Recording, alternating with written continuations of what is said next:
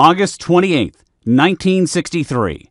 Martin Luther King Jr. caps a major civil rights march in Washington with a speech for the ages at the Lincoln Memorial. I have a dream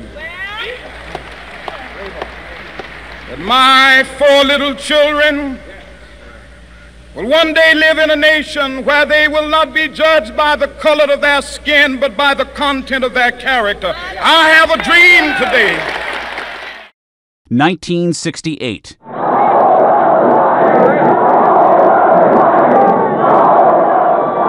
In Chicago, police and anti Vietnam War protesters clash in the streets during the Democratic National Convention.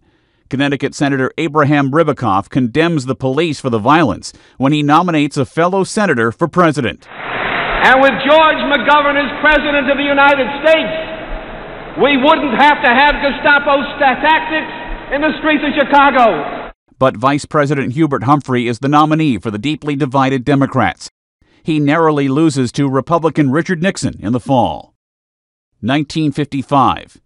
Emmett Till, a black teenager from Chicago, is abducted from his uncle's home in Money, Mississippi. Two white men seize Till after he supposedly whistled at a white woman. He's found brutally murdered days later. An all white jury acquits the men of the crime.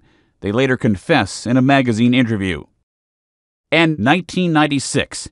In London, a royal split becomes final as Britain's Prince Charles and Princess Diana are granted a divorce.